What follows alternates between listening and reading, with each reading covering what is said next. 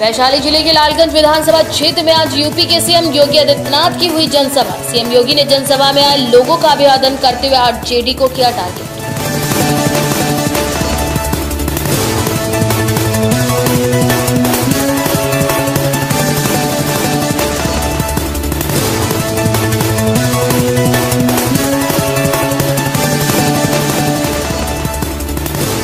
मोदी ने children nutrition park का किया लोकार्पण न्यूट्री ट्रेन में हुए सवार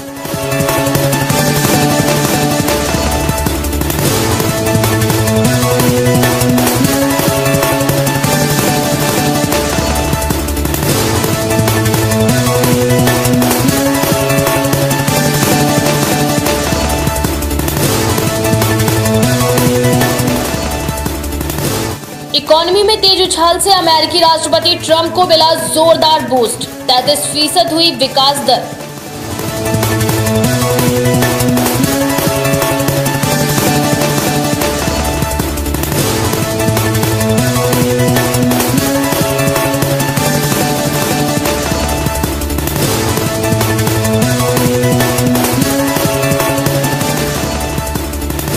मुश्किल में Bollywood actor Aamir Khan, UP के भाजपा विधायक नंदकिशोर गुर्जर ने कोरोना में लापरवाही बरतने पर पुलिस से की आमिर की शिकायत।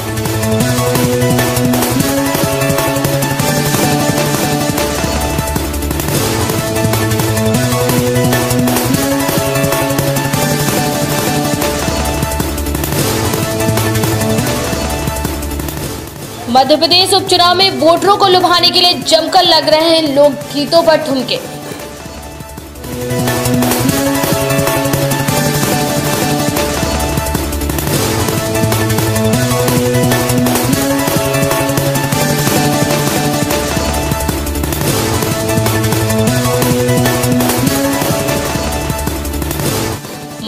के मामले में सीबीआई नेता के बेटे बिनेश कोटियारी की दो नवंबर तक बड़ी हिरासत।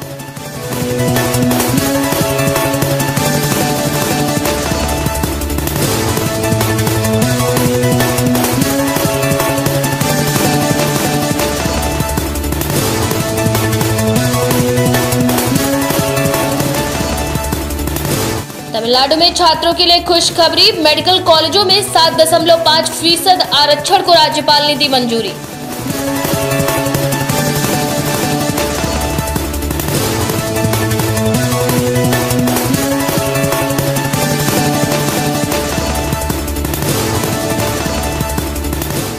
परिवार से मिलने पहुँची पाँच लाख की इनामी महिला नक्सली को पुलिस ने किया गिरफ़्तार।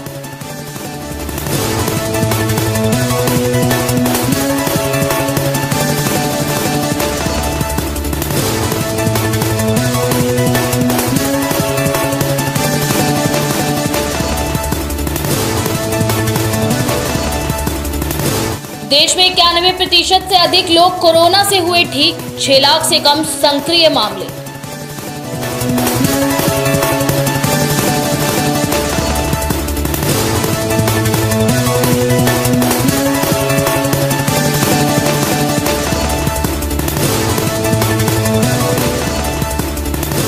भारतीय नेवी के एंटी शिप मिसाइल का बंगाल की खाड़ी में सटीक रहा निशाना।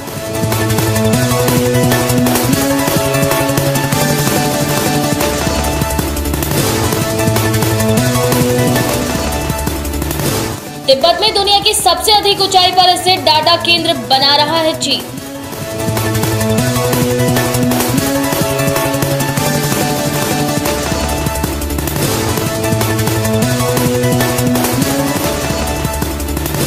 हरियाणा महिला आयोग की वाइस चेयरपर्सन प्रीति पहुँची निकिता के घर, परिजनों को दिलाया न्याय का भरोसा।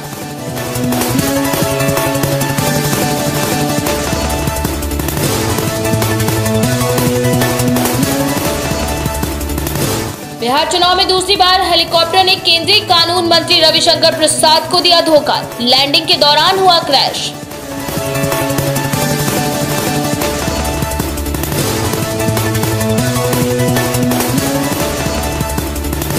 लालू प्रसाद के रिहा होने की बड़ी मुश्किल, जमानत के खिलाफ सुप्रीम कोर्ट जाएगी सीबीआई।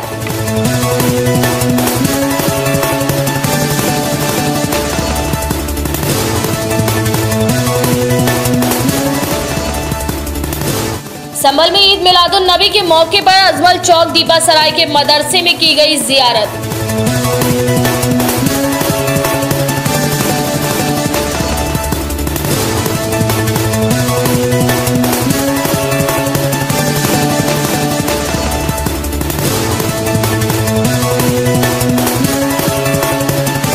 संभल से उवैश दानिश की रिपोर्ट। लखनऊ में बारह वफात को लेकर किए गए सुरक्षा व्यवस्था के पुख्ता इंतज़ाम, ज्वाइंट पुलिस कमिश्नर सहित कई अधिकारियों ने लिया पुराने लखनऊ का जायजा।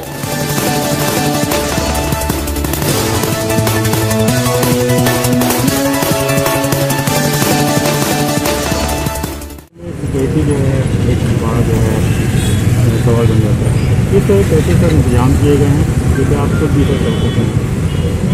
सबसे पहले तो मैं लखनऊ की जनता को ही धन्यवाद दूँगा कि अभी तक जितने भी त्यौहार इस वर्ष आए हैं 2020 में, और जब से कोविड प्रोटोकॉल लागू हुआ है, इतनी समझदारी दिखाई है यहाँ की जनता ने, इतनी सभ्यता और संस्कृति का परिचय दिया है, इतनी तहजीब दिखाई है कि सही माने तो पुलिस के लिए ज़्यादा कुछ करने का था नहीं।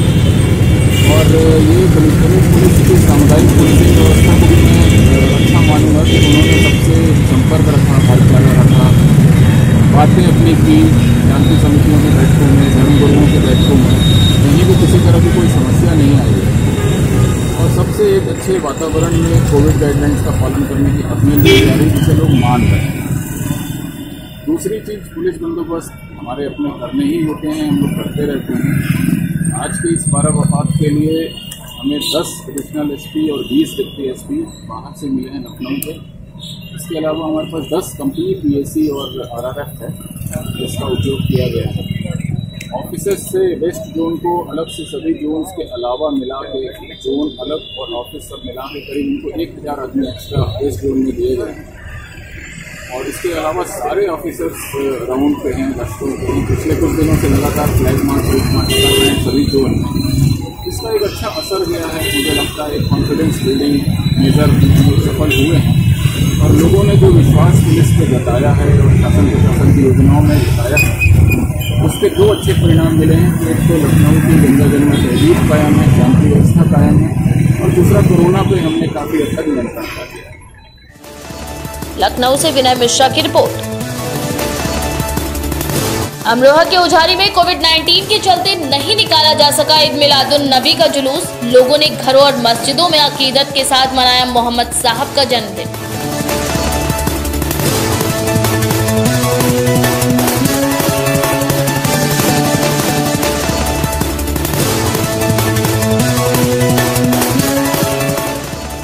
अमरोहा से मुजम्मिल हुसैन की रिपोर्ट। सीतापुर के थाना रेवसा क्षेत्र के सिहाला में एक व्यक्ति के घर में लगी आग, लाखों की संपत्ति जलकर हुई खाक।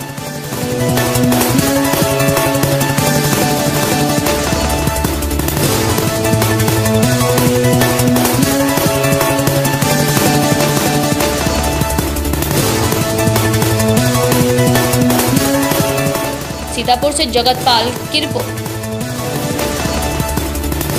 संभल में ईद मिलादुलनबी के त्यौहार के मद्देनजर एसपी ने पुलिस फोर्स के साथ किया पैदल मार्च।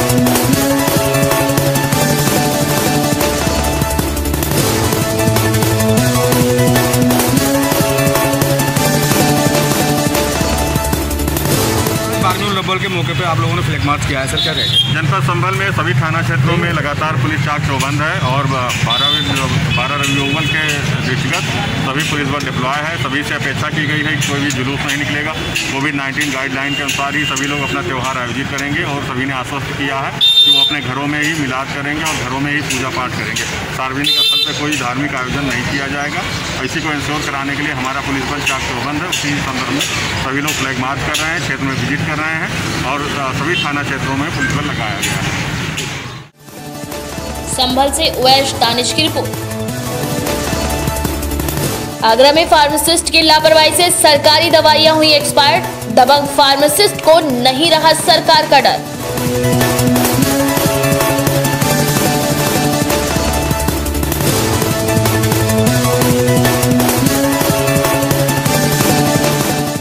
क्या माल लेके आया? कहाँ से लेके आया इसको? सरकारी हॉस्पिटल से। क्या माल है ये? बोतल है। कई चीज़ की बोतलें हैं। अब ऐसे जानते तो फिर महँगा पर मेडिकल की दुकान में तो आप बात दिए हैं? किसने दिए दिनेश अंकल जी ने कौन है दिनेश अंकल जी? के हॉस्पिटल में रहते हैं। अच्छा अच्छा। क्या करने ले जा रहा है अब इनको? खाली बे फेंकेंगी जी। भरी हुई है या भरी हुई है ये? भरी है ये तो तमन्ना देगी आगरा से राम सेवक ठाकरे की रिपोर्ट। हमारे साथ जुड़े रहने के लिए सब्सक्राइब करें हमारा चैनल केकेडी न्यूज़ और हमारी वीडियो अपडेट्स के लिए दबाएँ बेल आइकन।